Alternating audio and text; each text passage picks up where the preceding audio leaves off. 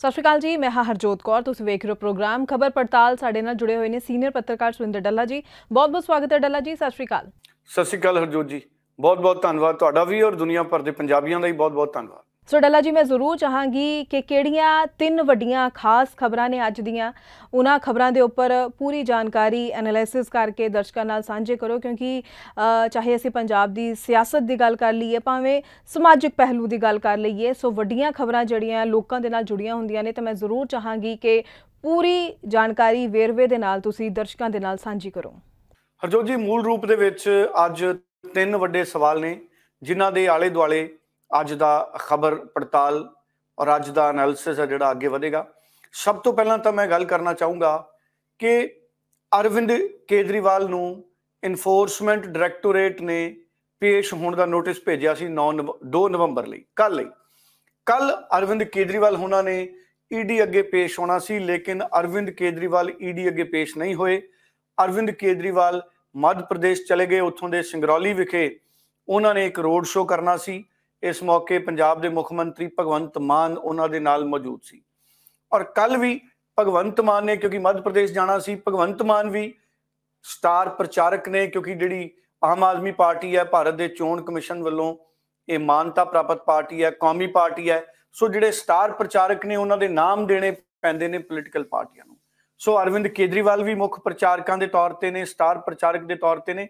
ਔਰ ਅਰਵਿੰਦ ਕੇਜਰੀਵਾਲ ਵੀ ਸਟਾਰ ਪ੍ਰਚਾਰਕ ਦੇ ਤੌਰ ਤੇ ਆਮ ਆਦਮੀ ਪਾਰਟੀ ਦੀ ਭੂਮਿਕਾ ਨਿਭਾਉਂਦੇ ਨੇ, ਇਸ ਕਰਕੇ ਅਰਵਿੰਦ ਕੇਜਰੀਵਾਲ ਨੇ ਵੀ ਜਾਣਾ ਸੀ। ਔਰ ਭਗਵੰਤ ਮਾਨ ਵੀ ਉਹਨਾਂ ਦੇ ਨਾਲ ਗਏ। ਭਗਵੰਤ ਮਾਨ ਵੀ ਕਿਉਂਕਿ ਸਟਾਰ ਪ੍ਰਚਾਰਕ ਹੈ।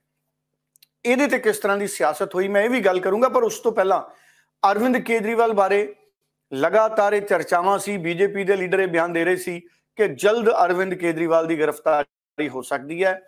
ਔਰ ਬੀਬੀ ਆਤਸ਼ੀ, ਜਿਹੜੇ ਕਿ ਆਮ ਆਦਮੀ ਪਾਰਟੀ ਦੇ ਲੀਡਰ ਨੇ ਉਹਨਾਂ ਨੇ ਵੀ ਪਰਸੋਂ ਇੱਕ ਪ੍ਰੈਸ ਕਾਨਫਰੰਸ ਕੀਤੀ ਸੀ ਕਿ ਅਰਵਿੰਦ ਕੇਜਰੀਵਾਲ ਨੂੰ ਗ੍ਰਿਫਤਾਰ ਕੀਤਾ ਜਾ ਸਕਦਾ ਹੈ, ਉਹਨਾਂ ਨੇ ਸ਼ੱਕ ਪ੍ਰਗਟ ਕੀਤਾ। ਪਰ ਕੱਲ ਅਰਵਿੰਦ ਕੇਜਰੀਵਾਲ ਇਨਫੋਰਸਮੈਂਟ ਡਾਇਰੈਕਟੋਰੇਟ ਅੱਗੇ ਪੇਸ਼ ਨਹੀਂ ਹੋਏ। ਇਹਦਾ ਮਤਲਬ ਕਿਸ ਰੂਪ ਦੇ ਵਿੱਚ ਸਮਝਿਆ ਜਾਣਾ ਚਾਹੀਦਾ ਹੈ? ਇਹ ਬੜਾ ਦਿਲਚਸਪ ਮੋੜ ਦੇ ਉੱਤੇ ਪੂਰਾ ਕੇਸ ਜਿਹੜਾ ਆ ਗਿਆ ਦਿੱਲੀ ਦੀ ਸਰਕਾਰ ਦਾ ਔਰ ਜਿਹੜਾ ਇਨਫੋਰਸਮੈਂਟ ਡਾਇਰੈਕਟੋਰੇਟ ਦੀ ਰਣਨੀਤੀ ਹੈ। ਹੁਣ ਕੇਜਰੀਵਾਲ ਦੀ ਜਿਹੜੀ ਚਿੱਠੀ ਸੀ ਇਨਫੋਰਸਮੈਂਟ ਡਾਇਰੈਕਟੋਰੇਟ ਨੂੰ ਲਿਖੀ ਗਈ ਉਹਨੂੰ ਸਮਝਣਾ ਵੀ ਬੜਾ ਜ਼ਰੂਰੀ ਹੈ, ਉਹਦੇ ਮਜਮੂਨ ਨੂੰ ਸਮਝਣਾ ਵੀ ਬੜਾ ਜ਼ਰੂਰੀ ਹੈ। ਅਰਵਿੰਦ ਕੇਜਰੀਵਾਲ ਨੇ ਇਹ ਸ਼ੱਕ ਪ੍ਰਗਟ ਕੀਤੇ ਨੇ ਕਿ ਇਹ ਜਿਹੜੀ ਚਿੱਠੀ ਹੈ, ਇਹ ਭਾਰਤੀ ਜਨਤਾ ਪਾਰਟੀ ਦੇ ਕਹਿਣ ਤੇ ਭੇਜੀ ਗਈ ਹੈ। ਉਹਨਾਂ ਦਾ ਕਹਿਣਾ ਹੈ ਕਿ ਇਸ ਚਿੱਠੀ ਨੂੰ ਭੇਜਣ ਪਿੱਛੇ ਸਿਆਸਤ ਹੈ, ਤਾਂ ਕਿ ਅਰਵਿੰਦ ਕੇਜਰੀਵਾਲ ਨੂੰ ਪੰਜ ਸੂਬਿਆਂ 'ਚ ਚੋਣ ਪ੍ਰਚਾਰ ਲਈ ਬੀਜੇਪੀ ਰੋਕ ਸਕੇ। ਇਹ ਉਹਨਾਂ ਦੇ ਬੜੇ ਗੰਭੀਰ ਇਲਜ਼ਾਮ ਨੇ ਅਰਵਿੰਦ ਕੇਜਰੀਵਾਲ ਦੇ। ਉਹਨਾਂ ਨੇ ਈਡੀ ਦੀ ਚਿੱਠੀ ਦਾ ਜਵਾਬ ਦਿੱਤਾ।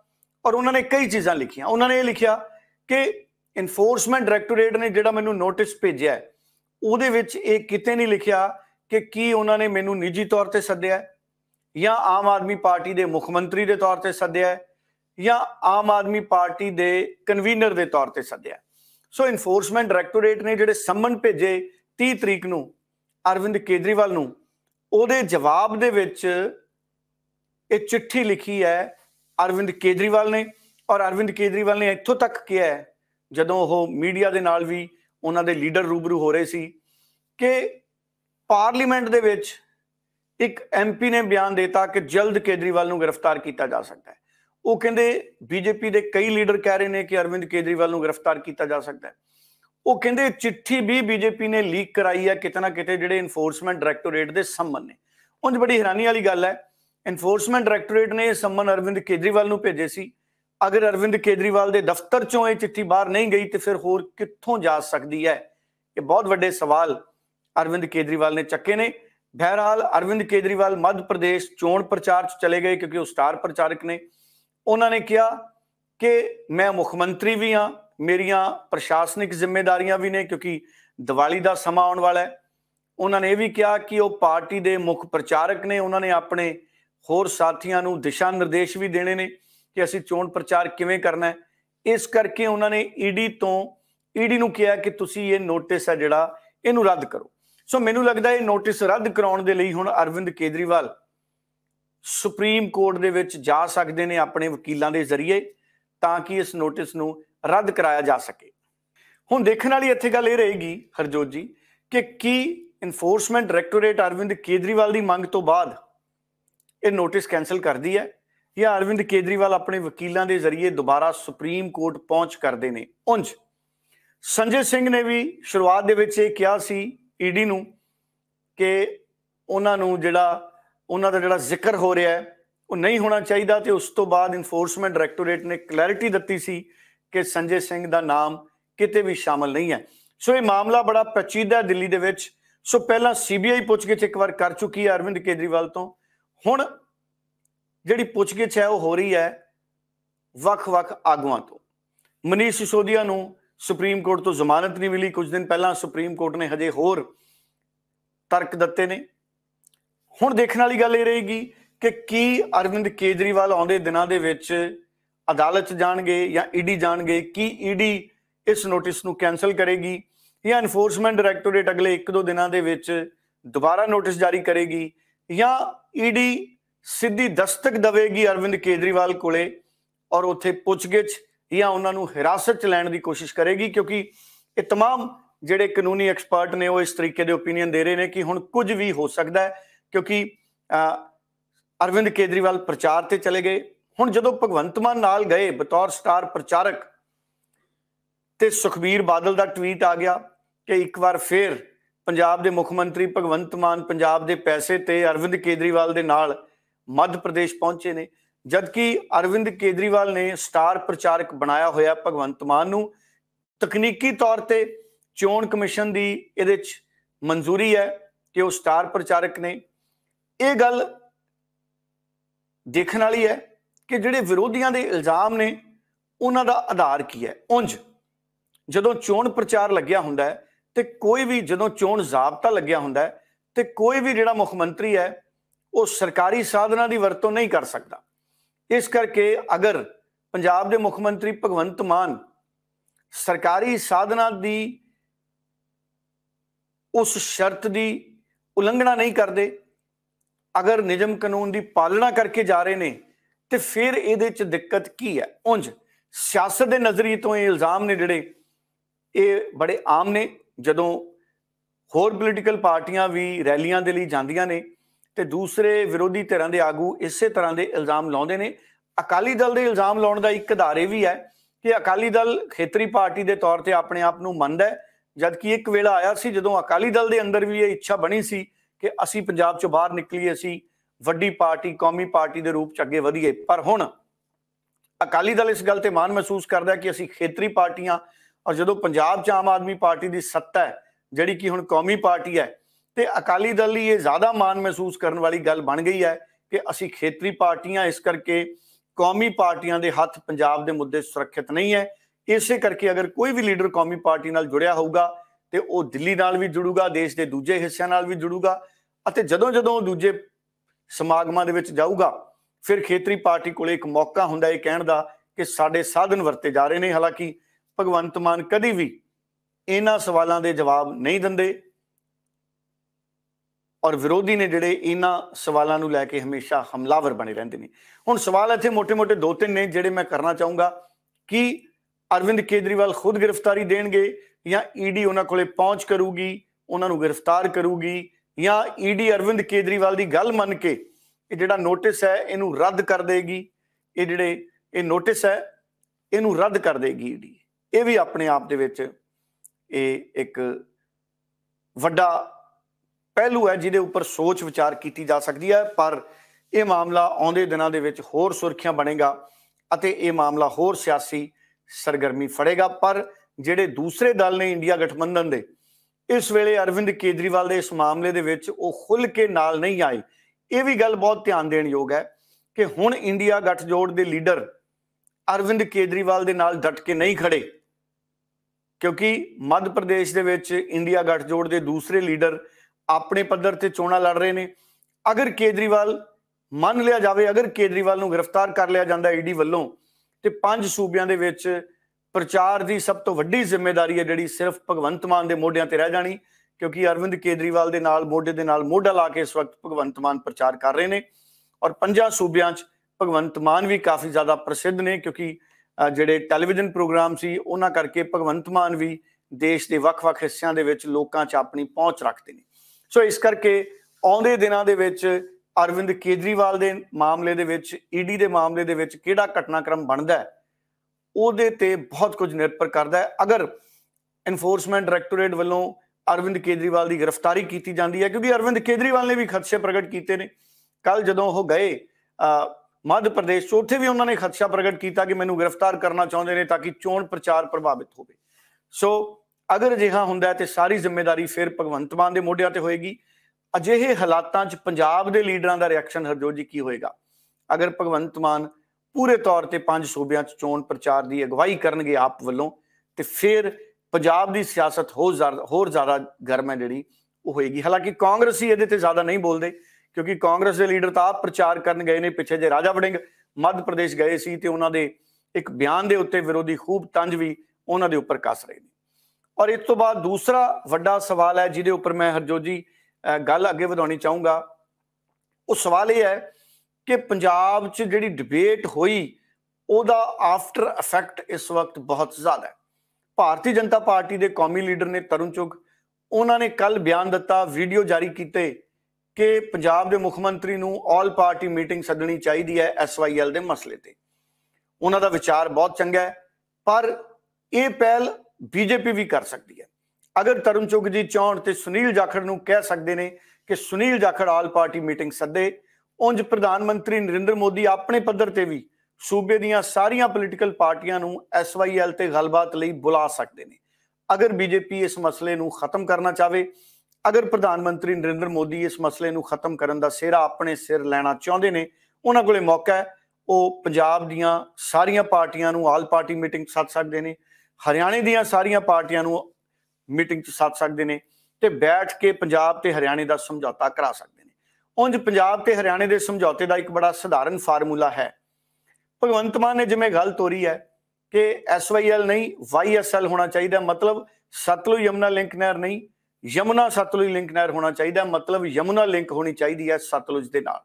ਇਹ ਇੱਕ ਪਹਿਲੂ ਹੈ। ਦੂਜਾ ਪਹਿਲੂ ਹੈ ਕਿ ਹਰਿਆਣੇ ਨੂੰ ਐਸਵਾਈਐਲ ਦੇ ਜ਼ਰੀਏ ਪਾਣੀ ਦੇ ਦਿੱਤਾ ਜਾਵੇ ਪੰਜਾਬ ਵੱਲੋਂ ਔਰ ਹਰਿਆਣੇ ਤੋਂ ਯਮੁਨਾ ਦੇ ਜ਼ਰੀਏ ਪੰਜਾਬ 'ਚ ਪਾਣੀ ਲੈ ਲਿਆ ਜਾਵੇ। ਸੋ ਜਿੰਨੀ, ਜਿੰਨਾ ਸਾਡਾ ਹੱਕ ਯਮੁਨਾ 'ਚੋਂ ਬਣਦਾ ਹੈ, ਅਸੀਂ ਉਸ ਪਾਣੀਆਂ ਦੀ, ਕਿਉਂਕਿ ਅਜਿਹੇ ਹਾਲਾਤਾਂ ਦੇ ਵਿੱਚ ਨਵੇਂ ਸਿਰੇ ਤੋਂ ਪਾਣੀਆਂ ਦੀ ਵੰਡ ਕਰਨੀ ਪੈਣੀ ਹੈ। ਜਿਹੜੀ ਪਹਿਲਾਂ ਪਾਣੀਆਂ ਦੀ ਵੰਡ ਹੋਈ ਸੀ ਉਹਦੇ ਮੁਤਾਬਕ ਹੁਣ ਪੰਜਾਬ ਕੋਲੇ ਪਾਣੀ ਘੱਟ ਨੇ। ਅਗਰ ਅਸੀਂ ਇਹ ਦਾਵਾ ਕਰੀਏ ਕਿ ਅਸੀਂ ਸਤਲੁਜ ਚੋਂ ਪਾਣੀ ਦੇਣ ਲਈ ਤਿਆਰ ਆ ਤੇ ਸਾਡੀ ਹیثیت ਮੁਤਾਬਕ ਹیثیت ਭਾਵ ਸਾਡੇ ਰਿਪੇਰੀਅਨ ਨਿਯਮਾਂ ਮੁਤਾਬਕ ਰਿਪੇਰੀਅਰ ਕਾਨੂੰਨ ਮੁਤਾਬਕ ਸਾਨੂੰ ਯਮੁਨਾ ਦਾ ਪਾਣੀ ਦਿੱਤਾ ਜਾਵੇ। ਅਜਿਹੇ ਹਾਲਾਤਾਂ ਦੇ ਵਿੱਚ ਨਵੇਂ ਸਿਰੇ ਤੋਂ ਪਾਣੀਆਂ ਦੀ ਵੰਡ ਦੇ ਲਈ ਕੋਈ ਟ੍ਰਿਬਿਊਨਲ ਬਣ ਸਕਦਾ ਹੈ, ਜਿਹਦੇ ਨਾਲ ਇਹ ਗੱਲ ਸਾਫ਼ ਹੋਏਗੀ ਕਿ ਇਸ ਵਕਤ ਪੰਜਾਬ ਕੋਲੇ ਪਾਣੀ ਹੈ ਕਿੰਨਾ। ਸਾਨੂੰ ਪੰਜਾਬੀਆਂ ਨੂੰ ਪਤਾ ਹੈ ਕਿ 1955 1976 1980 ਦੇ ਮੁਕਾਬਲੇ ਜਿਹੜਾ ਸਾਡਾ ਪਾਣੀ ਦਾ ਪੱਧਰ ਹੈ, ਉਹ ਬਹੁਤ ਜ਼ਿਆਦਾ ਘਟਿਆ ਔਰ ਮੇਰੇ ਅੰਦਾਜ਼ੇ ਮੁਤਾਬਕ 3 ਤੋਂ 4 million feet, million acre feet ਤੱਕ ਪਾਣੀ ਦਾ ਫਲੋ ਪਹਾੜਾਂ ਤੋਂ ਸਾਡੇ ਘਟਿਆ ਅੱਜ ਦੇ ਸਮੇਂ ਦੇ ਵਿੱਚ। ਇਹ ਅਸੀਂ ਮੰਨ ਸਕਦੇ ਹਾਂ।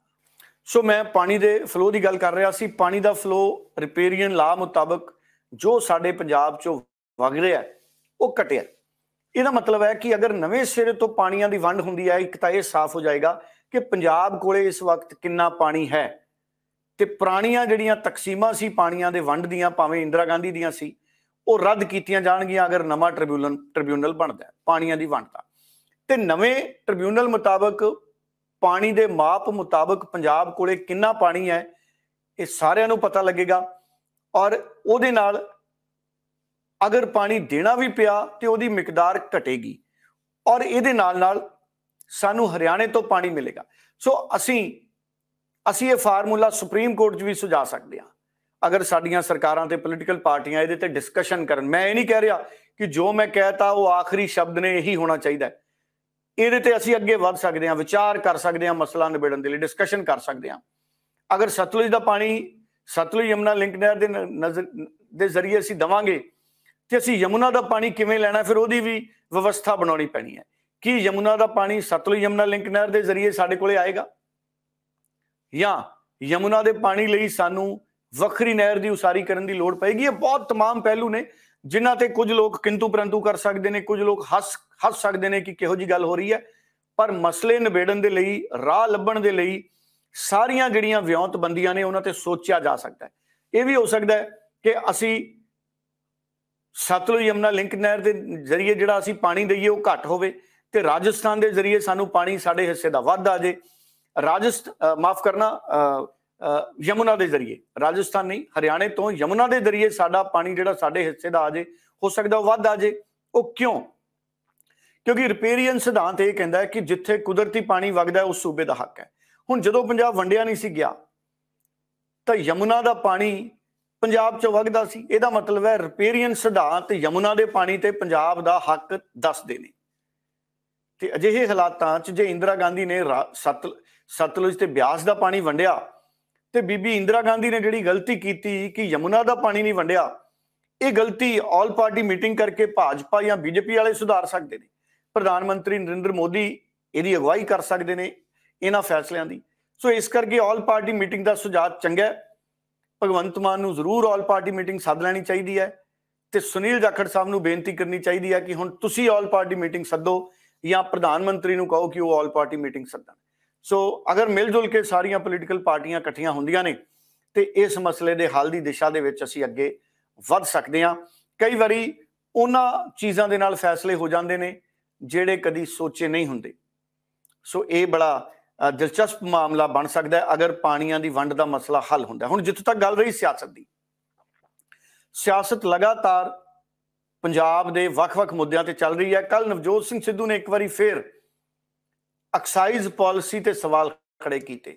ਉਹਨਾਂ ਨੇ ਦਿੱਲੀ ਐਕਸਾਈਜ਼ ਪਾਲਿਸੀ ਤੇ ਵੀ ਸਵਾਲ ਖੜੇ ਕੀਤੇ, ਪੰਜਾਬ ਦੀ ਐਕਸਾਈਜ਼ ਪਾਲਿਸੀ ਤੇ ਵੀ ਸਵਾਲ ਖੜੇ ਕੀਤੇ। ਹਾਲਾਂਕਿ ਨਵਜੋਤ ਸਿੰਘ ਸਿੱਧੂ ਦਾ ਪੰਜਾਬ ਮਾਡਲ ਲਗਾਤਾਰ ਇਸ ਗੱਲ ਦੀ ਵਕਾਲਤ ਕਰਦਾ ਹੈ ਕਿ ਪੰਜਾਬ ਦੇ ਵਿੱਚ ਸ਼ਰਾਬ ਕਾਰੋਬਾਰ ਲਈ ਸਰਕਾਰੀ ਕਾਰਪੋਰੇਸ਼ਨ ਬਣਨੀ ਚਾਹੀਦੀ ਹੈ। ਅਗਰ ਪੰਜਾਬ 'ਚ ਸ਼ਰਾਬ ਕਾਰੋਬਾਰ ਦੀ ਸਰਕਾਰੀ ਕਾਰਪੋਰੇਸ਼ਨ ਬਣਦੀ ਹੈ, ਉਹਦੇ ਨਾਲ ਸ਼ਰਾਬ ਕਾਰੋਬਾਰ ਦਾ ਸਾਰਾ ਕੰਮ ਸਰਕਾਰੀ ਹੋਏਗਾ। ਔਰ ਨਵਜੋਤ ਸਿੱਧੂ ਉਦਾਹਰਨ ਦਿੰਦੇ ਨੇ ਤੇਲੰਗਾਨਾ ਦੀ। ਤੇਲੰਗਾਨਾ ਇੱਕ ਬਹੁਤ ਛੋਟਾ ਸੂਬਾ ਹੈ ਔਰ ਉੱਥੇ ਲਗਭਗ 40 ਤੋਂ 44 ਹਜ਼ਾਰ ਕਰੋੜ ਰੁਪਏ ਦੀ ਆਮਦਨ ਸ਼ਰਾਬ ਦੇ ਕਾਰੋਬਾਰ ਤੋਂ ਕੁੱਲ ਹੁੰਦੀ ਹੈ।